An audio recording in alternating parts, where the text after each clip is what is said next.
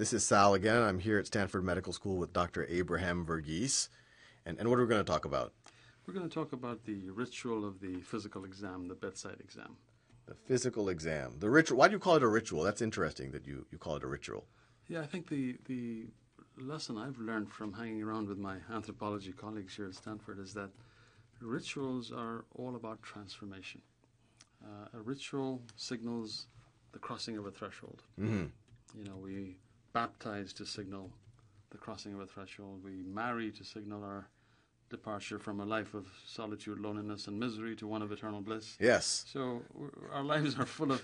You shouldn't be laughing, Sal. No, this is it, it, it resonates so strongly with me. So crossing a threshold is why we have a ritual, and I would say that the act of one individual coming to another and telling them things they wouldn't tell their rabbi or their preacher, Yeah. and then incredibly disrobing and allowing touch. Yeah. I would say that that signals uh, a ritual of incredible importance. Yeah. And the fact that we, in the postmodern sort of medical world, have stopped seeing it that way Yeah. and just see it as sort of, yes, another data gathering tool may work for us, but I don't think it works for the patient. And I think that a major disconnect between us and our patients is our failure to see what they see, which is a profound ritual in which they're highly invested. And when we then come and just stick our stethoscope on top of the Yeah. shirt or don't uh, examine them thoroughly, we are sort of shortchanging ourselves of an important ritual. Yeah. I now feel shortchanged. Yeah. I'm kidding. I'm kidding. No, no, no. Sorry. But I'd love to list for you, if I may, Yeah. those aspects of what make this a ritual. Yeah. So if you if you uh, look at it, uh, first of all, there's uh, always a specialized space. You don't examine a patient out in the corridor. It's always Yeah. a special room, a ceremonial room, if you will. Yeah. Mysterious-looking objects on the walls. Yeah. uh, a very specialized bed that you sit on. Uh, so you know that's another. Those are all signals that this is a ritual. Then when the when the physician walks in, uh, the physician often is wearing a ceremonial garb, which happens to be a white coat. Fascinating. Yeah. No, this is this is interesting, just from an anthropological point of view. Yeah. I, I never, you know, you just yeah. The physician's true. wearing ceremonial garb, and the patient is also instructed to disrobe and uh, you know g- gets a patient gown. So Yes. both participants clearly have a Which seems specially designed to put patients in a position of weakness. I know, I know. It's quite unfortunate. Yes. We should be rethinking the design Yes, of I think there's a major. Yeah. yeah.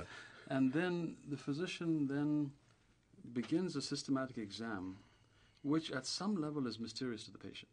Uh, it's not always clear to the patient why the physician is thumping on their chest or why the physician is saying take a deep breath or Right. cross your arms or stand on tiptoe or take your hand and touch your nose rapidly. Yeah. You know, so there's there are mysterious and ritualistic aspects to it, and very often the physician is using terms that are somewhat Latinate Right. and uh, arcane and utterly mysterious to the patient, uh, Yeah. such as fremitus and percussion. And What does fremitus mean? fremitus means uh, you ask the patient to say 99, and you listen. You sort of put your hand on their chest Uh-huh. and you pick up the vibration. And if they have consolidation or collapse, the the fremitus is not what it should be compared to the other side. The normal side. fremitus. Yeah. So it was the sound or the Uh, it's more like the vibration. Oh, the More like vibration, the I see. Sound being transmitted through and being picked up by your hand. So, interesting. yeah. Interesting.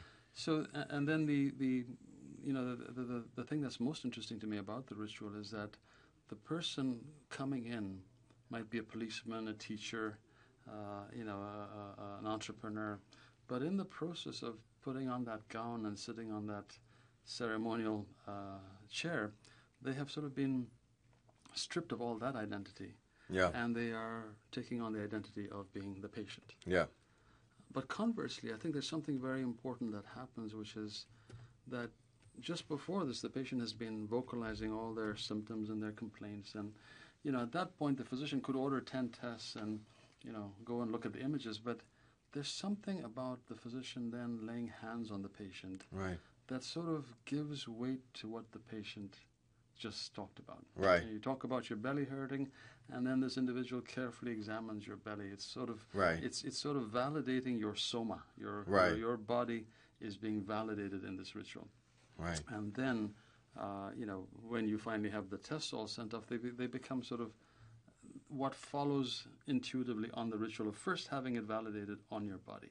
Yeah. Uh, one of the things that I I bemoan sometimes is that at times the patient in the bed, I feel, in hospitals around America, has almost become an icon for the real patient who's in the computer. Right. You know, the, right. the entity in the computer. It's just something you interface with to get to that data Exactly. structure in the computer. It's I've- interesting. I've coined a term for that entity in the computer. It's the iPatient. Yeah, I mean, right. And the iPatient is getting fabulous care. The real patient, I think, has a need to feel their complaints validated, to feel it validated on their soma, right. and to, to engage in a ritual uh, for which there's a transformation. And you might well ask me, what is the transformation that takes place in this ritual?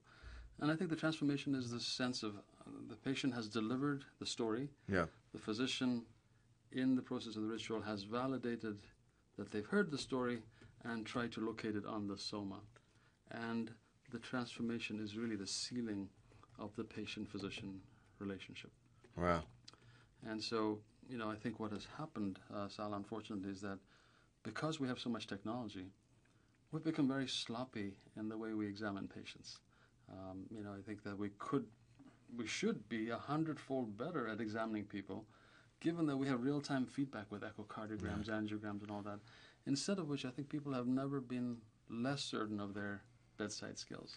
What about this phenomenon? Just talking to uh, physicians I know in, in my own family, that you know, there's so much time pressure that there's, you know, they have to see so many patients, one every 15 minutes, and all of this, and they wish they could do this, but they they they'll say that you know, I, I have so many other things to worry about in the paperwork and all of that. I mean, is it realistic to to? No, I think that's a very real concern, but I think if you can do this well, and our goal at Stanford is to teach our students to do it very well, you actually save time. right. Because if you do a quick exam and you find that they're tender in certain spot, you can order the test that sorts just that out, rather than which I think is much more common, which is I don't really know what's going on. I'll tick off every box, and Right. maybe something will fall out of the sky. Right. So I think a directed exam not only fulfills the ritual, but if you're any good at it, it actually allows you to ask better questions of Yeah. the tests you order Yeah. and minimize the patient's exposure to radiation.